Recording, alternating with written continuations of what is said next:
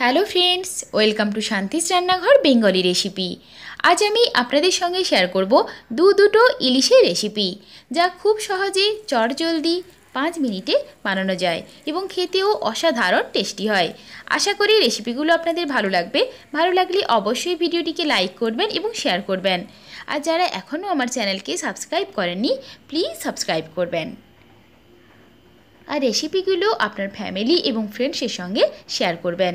চলুন তাহলে চটপট তৈরি করে ফেলি আজকের রেসিপিগুলো সবার প্রথমে বানাচ্ছি তেল ইলিশ। তেল ইলিশ বানানোর জন্য ইলিশ মাছের টুকরোগুলোকে ভালো করে ধুয়ে পরিষ্কার করে নিয়েছি।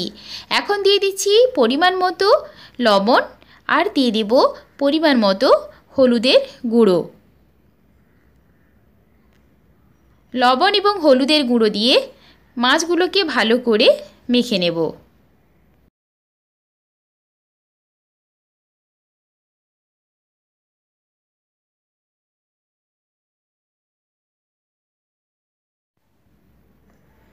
মাছগুলোকে মেখে নিয়েছি। এখন সবার প্রথমে কড়াইতে দিয়ে দেব ওয়ান টেবিল স্পুন সর্ষের তেল এবং তেলকে খুব ভালো করে গরম করে নেব। তেল গরম হয়ে গেছে। ওর মধ্যে দিয়ে দিচ্ছি নুন এবং হলুদ দিয়ে মেখে রাখা ইলিশ মাছের টুকরো। এবং অবশ্যই মিডিয়াম ফ্লেমে ফ্রাই করে নেব। এক্ষেত্রে বেশি ফ্রাই করার দরকার নেই। এক থেকে দেড় মিনিটের জন্য একটা ফিট ফ্রাই করে নিয়ে মাছকে উল্টে দিলাম এবং অপর পিঠটাও দেড় মিনিটের জন্য ফ্রাই করে নেব। মাছটাকে এমনভাবে ভাজতে হবে যাতে শক্ত না হয়ে যায়, নরম এবং সফট থাকে। দেখুন, আমি সামান্য তেল দিয়েছিলাম, এখন কড়াইতে আরও তেল বেরিয়েছে, অর্থাৎ মাছ থেকে এই তেলগুলো বেরিয়েছে। এই তেলগুলো খেতে খুবই টেস্টি হয়, তাই এর নাম তেল ইলিশ। মাছটা এখন খুব সুন্দর ভাজা হয়ে গেছে, মাছকে এখন পরিবেশন করে দেব।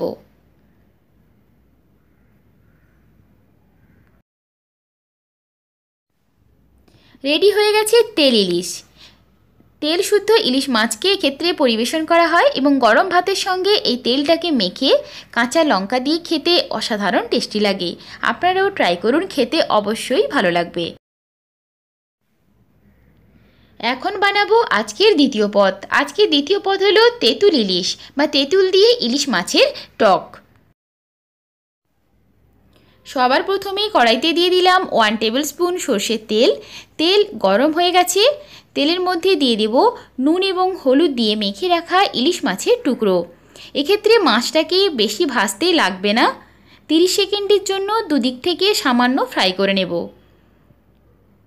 আর দিয়ে দিচ্ছি ফোড়ন হিসেবে একটা গোটা শুকনো লঙ্কা এবং টু পিঞ্চ পাঁচ ফোড়ন।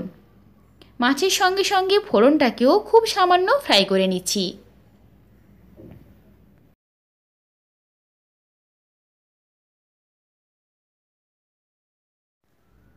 এটি বানানোর জন্য অবশ্যই লাগছে পাকা তেঁতুল।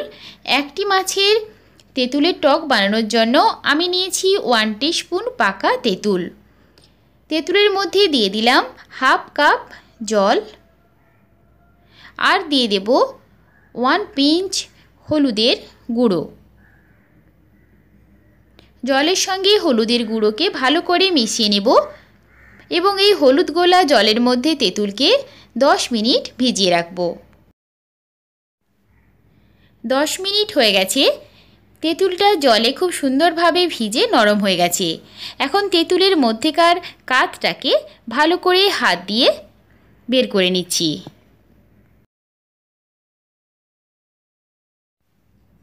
আর তেঁতুলের এই খোসাগুলোকে অবশ্যই ফেলে দেব।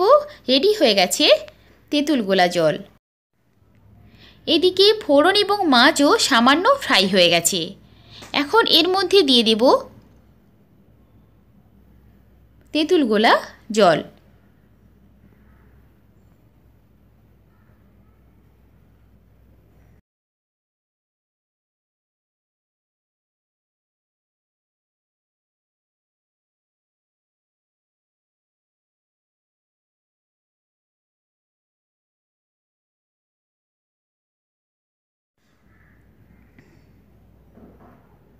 তরকারিটা ফুটতে শুরু করেছে, এখন দিয়ে দিলাম হাফ টিস্পুন চিনি।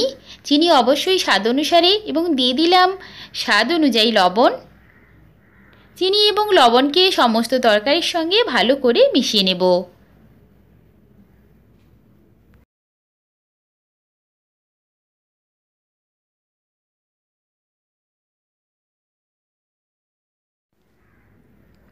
দিয়ে দিচ্ছি পরিমাণ মতো হলুদের গুঁড়ো। আর দিয়ে দেব আরও হাফ বাটি জল। হলুদের গুঁড়ো এবং জলকে খুব ভালো করে মিশিয়ে নেব।